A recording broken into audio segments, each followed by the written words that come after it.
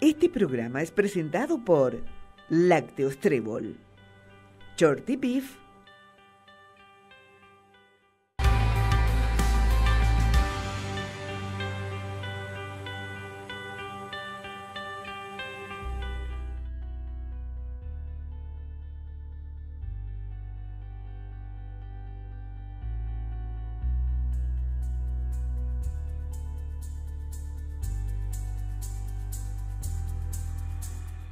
La producción de la soja es el cultivo agrícola de mayor importancia económica en el Paraguay. Nuestro país se mantiene entre los mayores productores del mundo y es el cuarto mayor exportador de soja a nivel global. La zafra 2019-2020 tuvo muy buenos rindes. Sin embargo, el mercado se vio afectado por la pandemia del coronavirus que tuvo incidencia directa en el precio de los commodities. No obstante, el agro sigue siendo uno de los pilares fundamentales de nuestra economía y se espera que cumpla un papel importantísimo para la recuperación económica post-pandemia. En Caguazú, que es el cuarto mayor productor de esta oleaginosa, se llevó a cabo la presentación oficial de la campaña de siembra correspondiente a la zafra 2020-2021.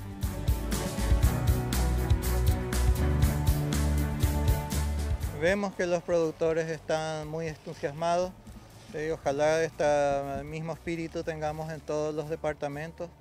Este es el rubro más importante de nuestra economía y si llegamos a la cifra de siembra que estamos este, esperando en esta temporada, que es un poco siembra en zafra, alrededor de 3 millones, 3 millones 50 mil hectáreas aproximadamente, y si el tiempo nos acompaña yo creo que va a ser un impulso importante para ir recuperando nuestra economía y que nuestros números vayan de, lo negativo a lo positivo nuevamente y que esto va a ser gracias al esfuerzo del productor paraguayo que viene trabajando con, con mucho ahínco y llevando adelante a pesar de todas las adversidades este, su trabajo y el bienestar a nuestra nación. Nunca el sector paró a pesar de la pandemia, es el sector que siguió trabajando, llevando este, el beneficio al país, abasteciéndonos de alimentos y ahora estamos en un hecho muy importante que es el inicio de esta campaña.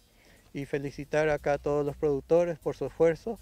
Ahora nos queda más que esperar buenas lluvias, que tengamos la humedad suficiente para permitir un buen desarrollo de las plantinas, que esperamos eso vamos a tener en el a fines del mes de septiembre a y en el mes de octubre, que tenemos que aprovechar adecuadamente esa ventana de siembra que vamos a tener para tener así el éxito que todos queremos.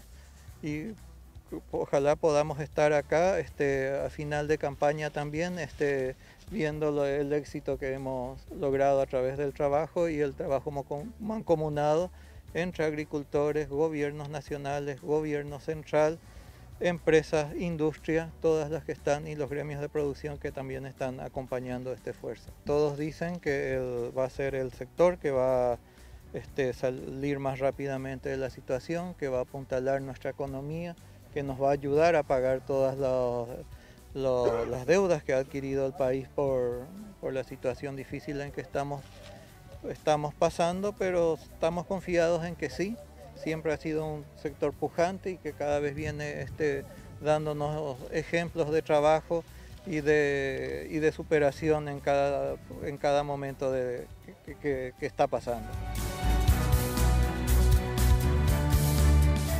Tenemos este, varios productos, este, nuestra oferta exportable, este, queremos variarla más, este, diversificarla más. Tenemos este, eh, la soja, que gracias a Dios se vende sola, tenemos el maíz, cuyo principal mercado de destino es el, el Brasil, el arroz, que ha empezado otra vez a mejorar su comercialización, el trigo, que también ya se está comercializando fluidamente, estamos este, vendiendo lo que quedó en depósito de la zafra pasada y empezando a vender lo que tenemos. Esto y manteniendo lógicamente lo que es para la industria. La carne también esperemos que se recupere y que el productor también reciba el precio adecuado por su producto. Estamos diversificando, estamos viendo otros mercados donde también ahí el agricultor va a ser importante porque hay mercados nuevos como Medio Oriente que requieren otro tipo de productos. Este, estamos hablando de, de diversos tipos de porotos que sí los producimos, pero no todavía en cantidad importante para exportar, principalmente porque no tenemos ese mercado. Yo creo que una vez que tengamos el mercado, esos sectores de otros cultivos también van a ir desarrollándose. Estamos trabajando en lo que es también la cadena porcina. Probablemente este, una vez que cumplamos unos requisitos va a empezar a ir carne de cerdo a Taiwán, que eso va a dar un impulso también al sector. Y también en el sector de aves, que somos un país granero y que tenemos que transformar nuestros granos en proteína animal y con eso dar valor agregado y llegar a muchos mercados y el sector de aves también este puede ser un sector muy importante. El ministro de Agricultura y Ganadería acompañó el inicio oficial de la campaña de siembra de soja en el distrito de Raúl Arsenio Oviedo. Pese a que el factor clima condiciona la campaña entrante, los productores se encuentran entusiasmados y piden a las autoridades el acompañamiento para poder producir y trabajar tranquilamente, teniendo en cuenta que en los últimos tiempos la principal preocupación de este sector es la seguridad jurídica. Como está aumentando, está subiendo el precio, entonces eh, siempre eso nos anima otra vez a seguir adelante y bueno, lo que nosotros queremos es trabajar en armonía con los pequeños y grandes agricultores. Ustedes saben allá eh, el perjuicio que tuvimos cuando se nos quemó, pero le estamos acompañando porque hay muchísimo de esa gente que son realmente campesinos que quieren trabajar y que quieren producir. Por eso acá, aunque no es nuestra zona tanto la zona San Joaquín, pero estamos dispuestos, queremos que todo el país podamos producir.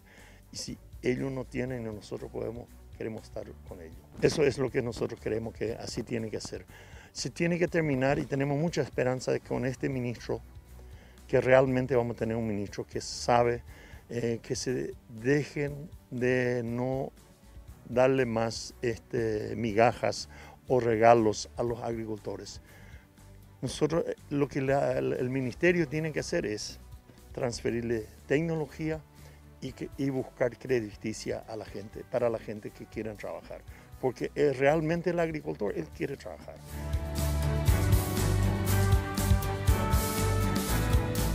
La soja pasó a ser el primer producto de exportación del país y es el producto agrícola que genera más ingresos. Contribuye con alrededor del 17% del Producto Interno Bruto PIB y aproximadamente el 60% de las exportaciones.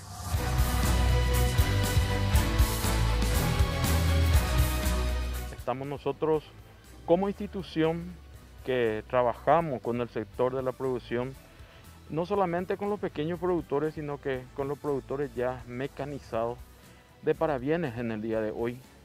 ¿Por qué? Porque está con nosotros nuestra autoridad máxima del sector de la producción, que es el ministro de Agricultura, un colega. En la persona él está cifrada mucha esperanza porque es una persona que podemos dialogar en el mismo lenguaje y entiende de la producción. El sector aquí donde estamos nosotros, a mí me cupo trabajar más de 30 años con, este, eh, con estos productores mecanizados eh, y conozco de la actividad y del sacrificio que ellos llevan adelante para poder llegar a este sitial. 30 años atrás esto no era, era monte.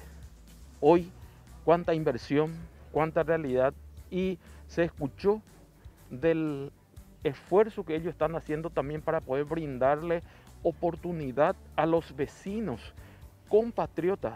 De hecho, son, ellos también son compatriotas, ¿verdad? Pero hay un sector que lo discrimina porque son menonitas o brasiguayos, pero por nuestra ley, nuestra constitución, todos aquellos que nacen en la tierra paraguaya son paraguayos.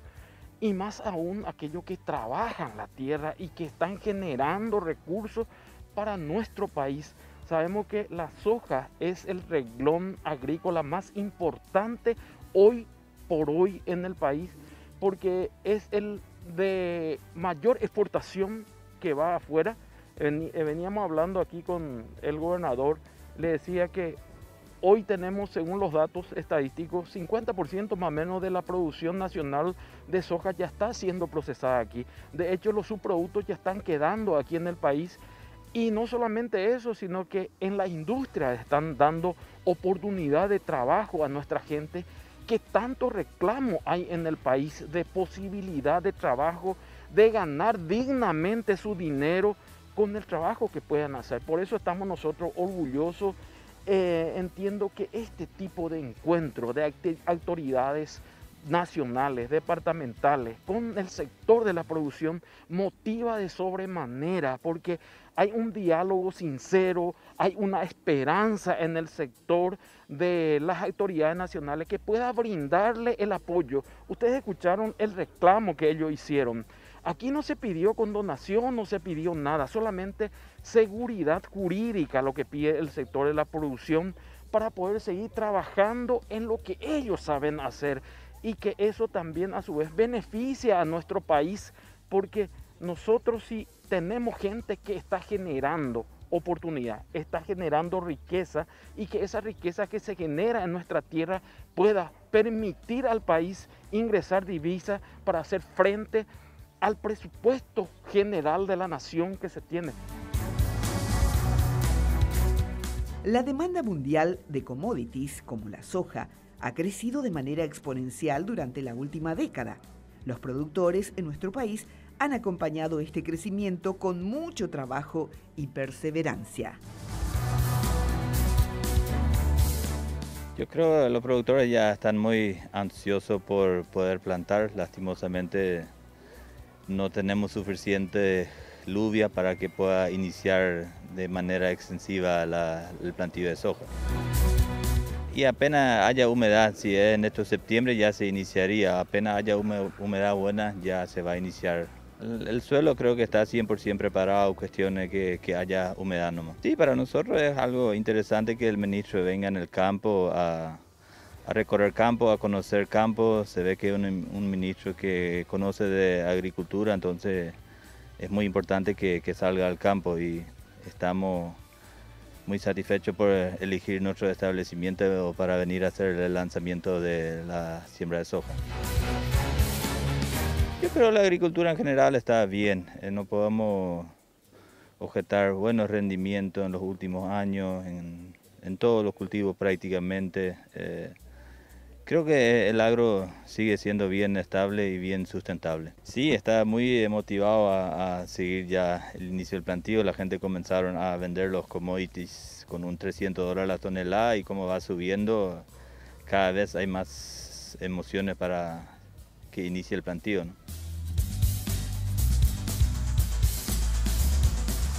Según datos del Ministerio de Agricultura y Ganadería, en el 2004, la producción llegaba a los 1.700 kilos por hectárea con la aplicación de tecnologías. Hoy pasan los 3.000 a 4.000 kilos en el mismo suelo, resaltando que los productores vienen trabajando de una manera sostenible y equilibrada con el medio ambiente.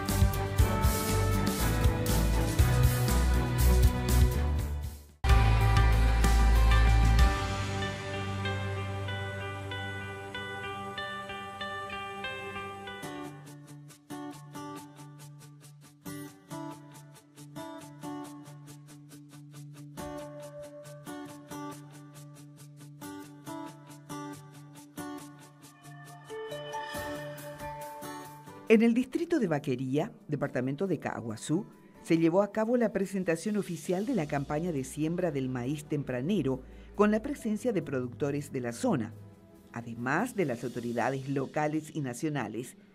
Durante el acto, el intendente de la ciudad señaló la importancia de capacitar a los pequeños productores y la implementación de tecnología para aumentar la producción. Como este lanzamiento, lanzamiento de la campaña Siembra de Maíz abaticú, para aguinaldo, como se lo dice, se está proporcionando a nuestros agricultores. No es solo un apoyo, es, es darles una herramienta para su sustento y desarrollo económico. Y guapo, señor ministro, la ñandera pichacho cocue, pero os falta ni beso constantemente. Nosotros desde el gobierno municipal estamos apoyando constantemente, ya sea organizando a la gente, preparación de suelo, también quiero destacar también con el acompañamiento del equipo ah, de la máquina agrícola también de la gobernación y lo nuestro hemos llegado casi al 100% a los pequeños productores.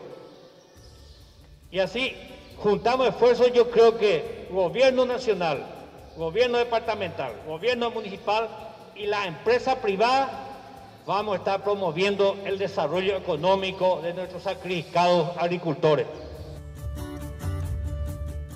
Por su parte, el productor y representante de la Coordinadora Agrícola del Paraguay en Caguazú, Cristi Zorrilla, habló de la preocupación por la poca lluvia y pidió más acompañamiento a las autoridades, principalmente en cuanto a transferencia de conocimientos y la mecanización de las fincas. Ánimo me mete, estamos esperando la lluvia para que se empiece la siembra de soja, siembra de maíz. Eh, siembra de forraje para el ganado. Eh, lamentablemente vino la lluvia, pero no fue generalizado. Eh, estamos expectantes, eh, estamos viendo que los precios están un poco reaccionando, el caso de la soja principalmente está reaccionando en el mercado.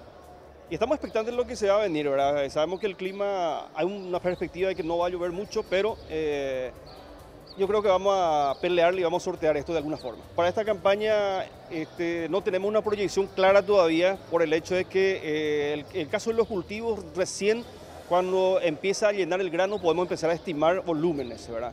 Eh, hay que recordar que cada cultivo tiene un periodo crítico, principalmente para el tema de agua, calor y todo eso, entonces aún no podemos hacer una estimativa. Sí vamos a tener un, pequeño crecimiento en el departamento, por lo menos de un 3% del área, del área de siembra, del área de siembra. Pero en cuanto a volumen de producción es muy temprano todavía para estimar.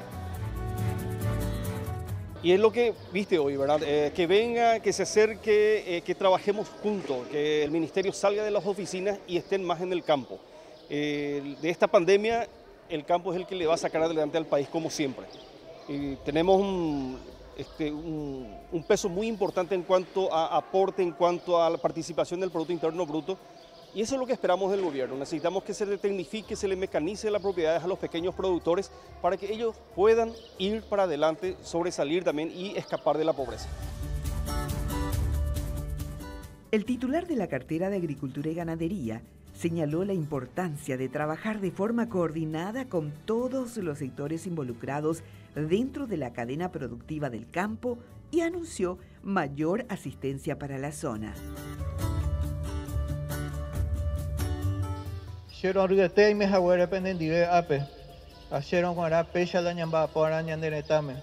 De esta manera conjunta, coordinada, está gobiernos locales, la empresa, los gremios de la producción que nos están apoyando en este esfuerzo de llevar a 2.000 familias este, campesinas este, semilla para el aguinaldo. Dicen para el aguinaldo, pero cuando cultivamos una semilla de maíz de tan alta calidad como lo que le están dando, no solo se abren las posibilidades para hacer choclo como se piensa, sino que también en zonas donde hay una industria láctea importante para alimentar nuestros animales, convertirla en, en leche, que es una de las formas primeras de industria, o llevarla simplemente al silo donde vamos a tener seguramente algún muy buen precio por eso.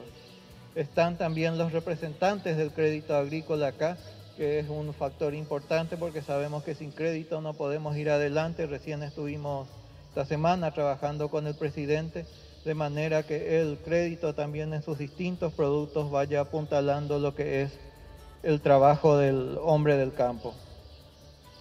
Ya creo que todos han dicho acá cómo hay que trabajar.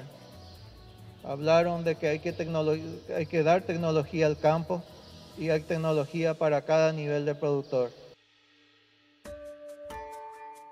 Tenemos que ser muy inteligentes y que los apoyos, lo aquello que está haciendo el ministerio, lleguen a las manos adecuadas. porque un tractor o un motocultor cuando llega en manos adecuadas transforma la, la producción de ese lugar o si no se convierte en un adorno en el patio de algún avivado, que son las cosas que tenemos que ir corrigiendo y mejorando. Por otro lado, también estamos trabajando en lo que es la comercialización. Este, estamos habilitando en un centro de comercialización en Coronel Oviedo, donde queremos que los productos que son producidos en, esta, en este departamento y en los departamentos vecinos sean clasificados, empaquetados y puedan llegar directamente al supermercado sin necesidad de pasar por el, por el mercado de abasto y con eso mejorar tanto para el consumidor como para el productor el precio. Y que ya es el ejemplo que acá las comunidades menonitas vienen desarrollando y es la manera de, llegar al éxito. Cuando comencé y vi el programa de mecanización, una hectárea por productor, me parecía poco, tenemos que hacer dos, tres y cuatro, y cuando un productor tiene cuatro o cinco hectáreas mecanizadas, ya él puede defenderse solo y ya no va a necesitar del Estado y de esa manera producir y seguir trabajando en el momento adecuado, recurriendo al crédito o a los otros medios que haya a su disposición porque va a tener un ingreso adecuado para tener una vida digna. El productor campesino no es un mendigo, no necesita de regalos de nadie porque él de su trabajo puede salir adelante y eso tenemos que seguir haciendo, dignificar al productor, seguir adelante y demostrando que por su trabajo puede honrar a su familia, puede vivir con dignidad y salir adelante. Y sobre esas líneas tenemos que seguir trabajando. Nuestra, esta comunidad y en especial toda esta zona tiene un potencial tremendo de desarrollo. Y en ese sentido estamos trabajando desde el ministerio de manera, una palabra que siempre yo digo que es muy fácil de decir, pero muy difícil de aplicar, que es la inserción competitiva de los productores en las cadenas de valor. Acá tenemos la cadena láctea, tenemos la cadena de granos, tenemos un montón de cadenas que podrían servir y se están aplicando acá los, programas del ministerio que ya están vigentes para eso, como acá mencionaron el PPI, donde si la industria está dispuesta a comprar el producto lácteo, el ministerio puede financiar toda la tecnificación de la producción está el PIMA, el PIMA verdadero, que es como le digo yo, donde se pueden trabajar con inversiones interesantes de manera a ir potenciando lo que es nuestra producción y ese enlace entre el productor y la industria, que es la manera de trabajar y, salir adelante. Nos viene un año complicado. Los meteorólogos dicen que vamos a tener una niña, una niña suave. diciendo que hija vamos a tener menos lluvia, entonces tenemos que prepararnos y sembrar en la época adecuada. Según nuestros informes o lo que nos dicen los especialistas, en el mes de octubre vamos a tener la humedad necesaria para sembrar. Tenemos que prepararnos para esa fecha, hacer nuestras tareas en el campo de manera a acumular la mayor cantidad de humedad posible y que esta semilla pueda crecer y llegar a fin de año para, produciendo el aguinaldo para los productores y este bienestar para toda la familia y dinero que es lo que todos queremos tener en esa época del año. El proyecto presentado durante el lanzamiento del maíz tempranero beneficia a seis municipios del departamento con 50 bolsas de semillas mejoradas para cada distrito, lo cual representa un total de 300 hectáreas de maíz a ser plantadas. Para es importante ñañe organizar en comités de productores. Jajina van lo mitad venían de Aranduca, Atilla, de Cuañen de Lucuea, Iván Guareñen de Moya, Cuea, Veí. Ya de Cuey tiene en cuenta, pero ya ese por el avance de la tecnología, del desarrollo, del estudio, Vitaru Sucuea, Vita Cuñaclao, Ñemoca Tupuría, hoy que tú y a mejorar la calidad de los productos. De tú a veces ya competir y gente hoy a profundidad con tema con los países vecinos más desarrollados en cuanto a la parte hortícola y cualquier otra producción.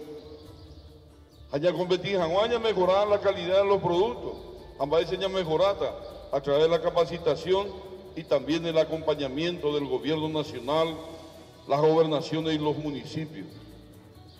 La Chococue de mi a esperando hoy. Va a poseer la Chococue, pero a veces de Icatuí porque no le coy recursos, no le coy acompañamiento, no le coy este, a lo mejor técnico o acompañar a su Así es, en el departamento, en el estado Paraguay, en el campo está nuestro futuro. En el campo está el futuro de la República del Paraguay.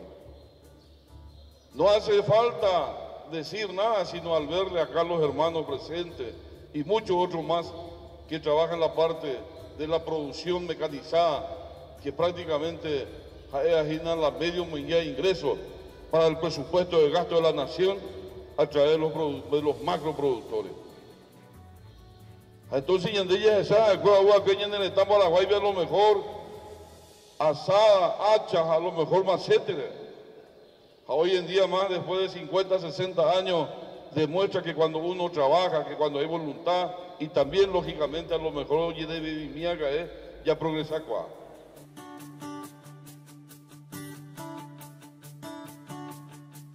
El objetivo de dicho proyecto es que el 50% de las hectáreas plantadas se puedan comercializar y ser vendidas como choclo y el otro 50% sea utilizado para silaje de cuenca lechera.